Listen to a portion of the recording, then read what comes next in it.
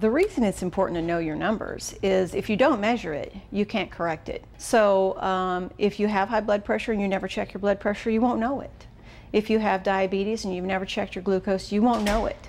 So these are things that are important to keep track of. And as we get older and as we go through menopause, things change, and so we need to reassess. Uh, well, there are a lot of numbers out there these days, and so it gets a little confusing, but most people should know their blood pressure. Our goal blood pressure is 120 over 80. Uh, as you age, sometimes it ekes on up, and so we want people to keep an eye on it. Uh, if you're starting to eke up into the 130s and 140s, we want to address that. Um, the goal, uh, total cholesterol, we'd like it to be under 150. Um, LDL, which L stands for lousy, so LDL should be under uh, 100, 70 to 100, especially if you're a diabetic.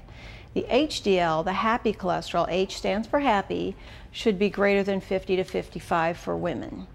Um, our triglycerides, we try to keep them under 150. So when you get these printouts from your doctor's office, sometimes it's a little confusing, but if you have these numbers, it'll help you uh, try to stay in focus and try to stay in line with your um, uh, with your numbers. Another measurement that we're really focusing on now is the waist. Uh, women's waistlines should be 35 inches or less. Men's waistline should be 40 inches or less, and that means measuring it right at the middle of the waist, not under the belt. So a lot of people cheat, but we want their waistline to be under 35. And the reason for that is uh, visceral fat, which is the dangerous fat, kind of becomes its own organ. It becomes toxic and inflammatory. It inflames the system. So, uh, and that's an easy one to do. Just get a tape measure, and if you aren't sure what any other number you should keep track of, just try to keep track of that waistline.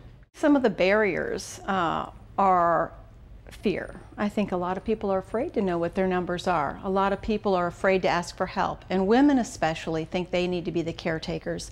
They take care of their family, they take care of their husbands, they take care of everybody at work, but they don't take care of themselves.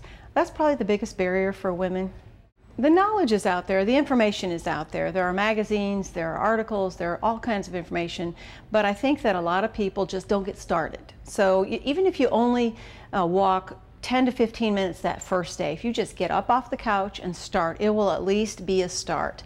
Um, I think that um, sometimes people are just so busy and they get overwhelmed and they the labeling, you know, everybody talks about reading your labels and knowing your saturated fats and your cholesterol levels and your sugar levels and all this business, I think that it gets very confusing and, and at some point people start to feel like, well, what can I safely eat? So uh, I usually just try to talk to people about keeping their carbohydrates to a minimum, maybe you know 60 grams or 80 grams a day and keeping their sugars to a minimum. We have so much sugar hidden in our food. If you read what is what sugar amounts are in your food, you'll be shocked. So if you can stay below say 15 grams of sugar a day, uh, that is huge. Some of the steps to take to begin your, your healthy lifestyle is to know the most common risk factors. One of those is hypertension, the other one is diabetes, the other one is tobaccoism. If you smoke, you need to stop smoking. It makes your blood thick and sludgy and causes problems like uh, heart attacks and strokes.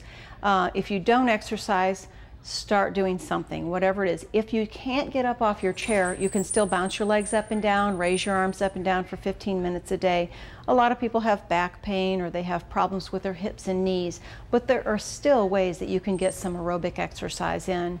It's very important to know your family history. If you've got someone in your family under the age of 55 years old who's had a heart attack or a stroke or a sudden death, we need to know that. From our standpoint, it helps us with our history, it helps us put the pieces of the puzzle together and know your risk factors. Shawnee Mission Medical Center is really focused on helping people with heart problems. We're an accredited chest pain center. We've got several programs in place.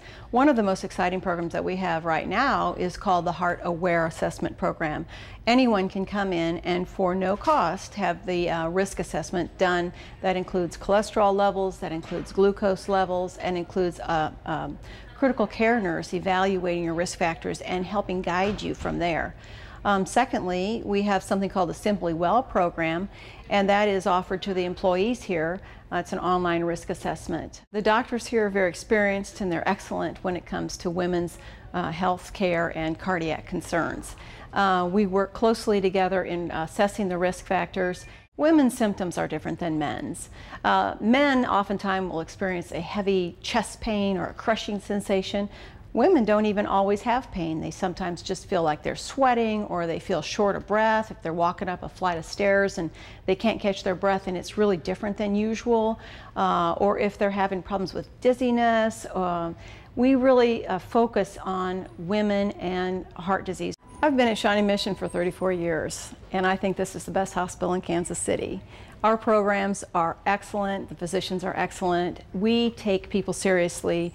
We, we help them uh, know their risk. We counsel them, and when someone comes in for that heart aware assessment, there's a lot of information that's given and uh, good guidance to where they need to go next. My name is Penny Messmer. I'm a nurse practitioner with cardiology at Shawnee Mission Medical Center.